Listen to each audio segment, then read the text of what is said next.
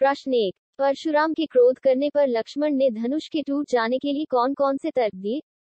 उत्तर, परशुराम के क्रोध करने पर लक्ष्मण ने धनुष टूट जाने पर तर्क देते हुए कहा कि यह धनुष पुराना व कमज़ोर था।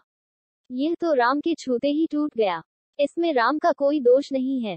वैसे भी एक पुराने और अनुपयोगी धनुष को तोड़ने से हमें क्या लाभ हो सकता है और आपकी क्या हानि हो गई है?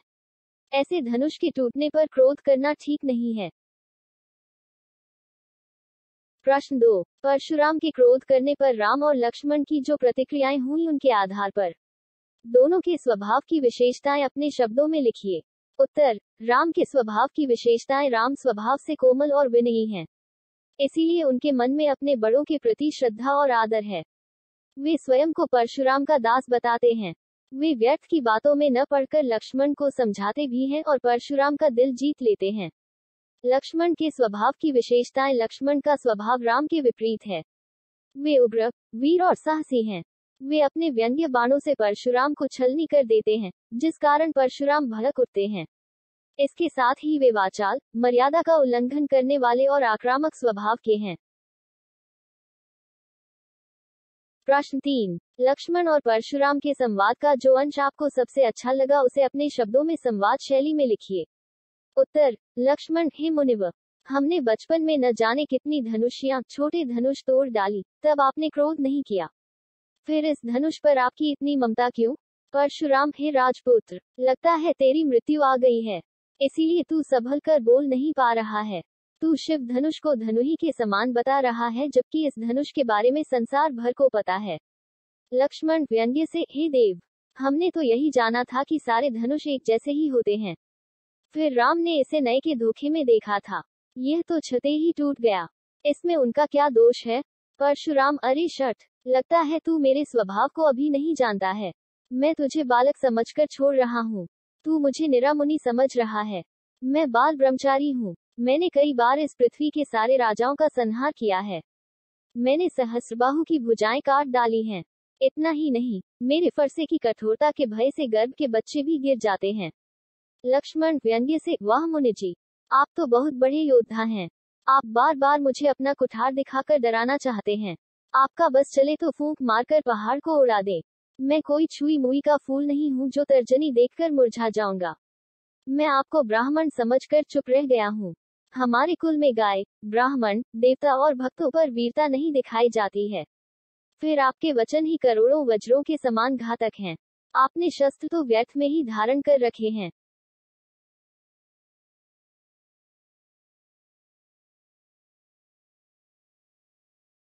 प्रश्न चार, परशुराम ने अपने विषय में सभा में क्या क्या कहा? निम्न पद्यांश के आधार पर लिखिए बाल ब्रह्मचारी अति को ही विदित क्षत्रिय कुल द्रोही। भुजबल भूमि भूप बिनु कीन ही। विपुल बार महिदेवे दीन ही। सहस बाहु भुज छेद निहारा। परिसु बिलोकु मही कुमारा। मातु पिथि जनी सोच बस करसी मही से किशोर गर्भने के अर्भक दलन परिसु मोर अति घोर। उत्तर, परशुराम ने अपने बारे में सभा में कहा, मैं बाल ब्रह्मचारी हूँ। सारा संसार जानता है कि मैं क्षत्रियों के कुल का शत्रु हूँ। मैंने अनेक बार अपनी भुजाओं के बल पर इस धरती को राजाओं अर्थात क्षत्रियों से विहीन किया है। मेरे इस भयंकर फरसे ने सहस्रबाहु की हज़ारों भुजाओं को काट डाला। इसे देखकर गर्भधारिणी स्त्रियों के गर्भ भी गिर जाते हैं। प्रश्न पाँच। लक्ष्मण ने वीर योद्धा की क्या क्या विशेषताएँ बताई? उत्तर लक्ष्मण ने वीर योद्धा की विशेषताएँ बताते हुए कहा कि वीर योद्धा रणभूमि में वीरता दिखाता है और अपने वीरतापूर्ण कार्यों के माध्यम से अपना परिचय देता है। वे अपने पौरुष का अहंकार नहीं रखते हैं और अपने मुँह से अपनी वीरता का बखान नहीं करते हैं। प्रश्न छह। साहस और शक्ति के साथ विनम्रता हो तो बेहतर है, इस कथन पर अपने विचार लिखिए। उत्तर। साहस और शक्ति के साथ विनम्रता का होना एक बहुत ही अच्छा गुण है। क्योंकि विनम्रता इन दोनों पर नैतिक अंकुश रखती है। व्यक्ति कई बार शक्ति और साहस के बल पर उद्दंता करने लगता है। उसकी उस उद्दंता के कारण वह बुरा लगने लगता है। ऐसी स्थिति में विनम्रता ही उस पर अपना नियंत्रण करती है। लक्ष्मण और परशुराम दोनों पराक्रमी एवं शक्ति संपन्न हैं, परंतु विनम्र न होने से अहंकारी लगते हैं। राम में विनम्रता अधिक है तो वे अधिक प्रभावशाली लगते हैं। प्रश्न सात। भाव स्पष्ट कीजिए, कब बेहसी लखनऊ बोले मृदु बानी। अहो मुनिसु महाब मानी। पुनि पुनि मोही देखाव कुठारू। चहत रावण पून की पहाड़ू ख, यहाँ कुम्हड़बतिया को नहीं। जे तरजनी देखी मरी जाही। देखी कुठारू सरासन बाना। मैं कछु कहा सहित अभिमाना। ग गादि सुनु कह हृदय हसी मुनि हरियर सूझ। अयमय खार न उखमय झू न बूझ अबूझ उत्तर क भाव लक्ष्मण ने हंसकर मुनि परशुराम पर व्यंग्योक्ति की कि आप स्वयं को बड़ा भारी योद्धा समझने का भ्रम पाले हुए हैं इसीलिए मुझे बार बार फरसा दिखाकर डराने का प्रयास कर रहे हैं आपका यह प्रयास पहाड़ को फूंक से उड़ाने जैसा लगता है, अर्थात कोरी वाचालता बता रहा है डॉट भाव लक्ष्मण अपने साहस और वीरत्व का परिचय देते हुए कहते हैं कि हम कोई कुम्हड़बतिया नहीं है जो आपकी तर्जनी को देखते ही मुरझा जाएँ। हम भी कोई कम नहीं हैं। मैंने फरसे और धनुष बाण को भली प्रकार देख परख कर ही कोई बात कही है। मैं आपसे किसी बात में कम नहीं हूँ, इसलिए मुझे कम आंकने की भूल मत करना। भाव विश्वामित्र परशुराम की बुद्धि और समझ पर तरस खाते हुए सोचने लगे कि परशुराम को हरा हरा ही दिखाई देता है अर्थात स्वयं के बारे में बड़ी भ्रांति है। वे लक्ष्मण को गन्ने से बनी खाट के समान समझ रहे हैं कि उसे एक ही बार में नष्ट कर डालेंगे। वे अज्ञानतावश यह नहीं समझ पा रहे हैं कि लक्ष्मण लोहे से बना खां है जिससे संघर्ष मोल लेना आसान नहीं है।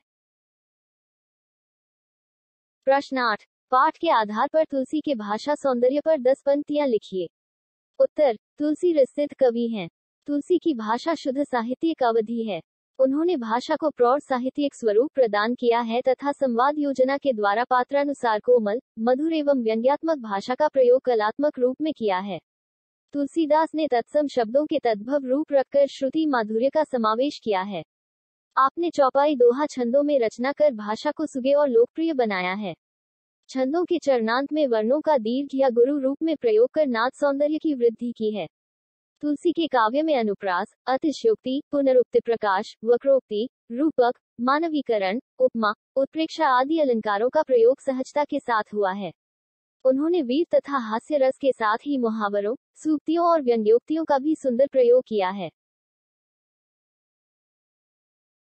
प्रश्न नौ। इस पूरे प्रसंग में व्यंग्य का अनूठा सौंदर्य है। उदाहरण के साथ स्पष्ट कीजिए। उत्तर। इस पूरे प्रसंग में लक्ष्मण के कथनों में व्यंग्य का अनूठा सौंदर्य झलकता है।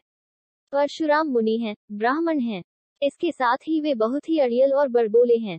इसलिए लक्ष्मण उन पर व्यंग्य बाण चलाना ही उपयुक्त समझते हैं, जिससे वे और अधिक क्रोधित हो उठते हैं। लक्ष्मण अपने व्यंग्य बाणों से उनकी खोखली वीरता की धज्जियाँ उड़ा देते हैं। जब परशुराम आवेश में आकर शिव धनुष तोड़ने वाले का संहार करने की बात करते हैं, तब लक्ष्मण कहते हैं कि हमने बचपन में ऐसे कितने ही धनुष तोड़े। जब परशुराम कहते हैं कि शिव धनुष की तुलना धनु ही से नहीं की जा सकती, तब लक्ष्मण कहते हैं कि हमारे लिए सब धनुष एक से ही होते हैं। इसी प्रकार जब परशुराम क्रोध में आकर विश्वामित्र को कहते हैं कि मैं अभी इसे मारकर गुरु के ऋण से उऋण होता हूँ, तब लक्ष्मण व्यंग्य प्रहार करते हुए कहते हैं माता पिता का तो ऋण आप उतार ही चुके हैं। अब आपको गुरु ऋण भारी पड़ रहा है। लंबे समय से न चुका पाने के कारण ब्याज भी बढ़ गया होगा, किसी हिसाबी को बुला लो। मैं अभी अपनी थैली खोलकर हिसाब चुकाता हूँ। इस प्रकार यह पठितांश व्यंग्य से भरपूर है। प्रश्न दस। निम्नलिखित पंक्तियों में प्रयुक्त अलंकार पहचान कर लिखिए, क बाल को बोली बधोर नहीं तो ही ख, कोटि कुलिस सम बचनु तुम्हारा। ग, तुम तो कालू हाँ जनु लावा। बार बार मोही लागी बोला। घ, लखन उतर आहुति सरस भरिगु बकोपु कृसानु बढ़त देखी जल सम बचन बोले रघुकुल भानु। उत्तर, क, ब, और ह की आवृत्ति के कारण अनुप्रास अलंकार है। ख कोटिकुलिस में क वर्ण की आवृत्ति से अनुप्रास तथा कोटिकुलिसम में उपमा अलंकार है। ग तुम तो कालू हाँ जनु लावा में संभावनात्मक वर्णन होने से उत्प्रेक्षा अलंकार है। बार बार मोही लागी बोला में पुनरुक्ति प्रकाश अलंकार है। घ लखन उतर आहुति सरस और जल सम बचन में उपमा अलंकार है। भरी गुबको कृसानु तथा रघुकुल भानु में रूपक अलंकार है। रचना और अभिव्यक्ति प्रश्न ग्यारह। सामाजिक जीवन में क्रोध की ज़रूरत बराबर पड़ती है।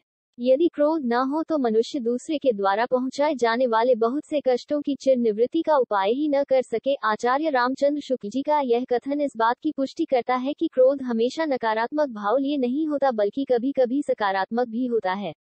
इसके पक्ष या विपक्ष में अपना मत प्रकट कीजिए। उत्तर क्रोध के पक्ष में मत क्रोध, हमेशा नकारात्मक भाव लिए हुए नहीं होता, वह कभी कभी सकारात्मक भी होता है, क्योंकि वह अन्याय का प्रतिकार करता है और साहस तथा वीरता का प्रदर्शन कर उत्साह का संचार भी करता है। उदाहरण के लिए, यदि कोई दुष्ट अभिमानी व्यक्ति आपके घर आकर आपसे अपशब्द कहता रहे और आप सिर नीचा करके सुनते रहे तो वह शांत कैसे होगा? वह तो अपनी दुष्टता का प्रदर्शन ही करता रहेगा। उस पर क्रोध करने पर ही वह उस समय शांत होगा। इसी प्रकार परशुराम बढ़ चढ़कर बकचक करते हुए लक्ष्मण को मारने को तैयार हो जाते तो उन्हें कौन रोक पाता? इसलिए लक्ष्मण का भी व्यंग्यात्मक क्रोध करना आवश्यक था, क्योंकि ऐसे समय में क्रोध रक्षक की भूमिका निभाता है। क्रोध के विपक्ष में मत क्रोध एक अवगुण है, मनुष्य का शत्रु है, क्योंकि वह उसे घमंडी और बड़बोला बनाता है। क्रोध विनाश का कार्य करता है, वह निर्माण नहीं कर सकता। उदाहरण के लिए, लक्ष्मण ने अपनी व्यंग्योक्तियों से परशुराम के क्रोध की आग को इतना भड़का दिया था कि राम यदि संकेत से लक्ष्मण को नहीं रोकते तो कुछ भी हो सकता था। अतः क्रोध से बचना चाहिए।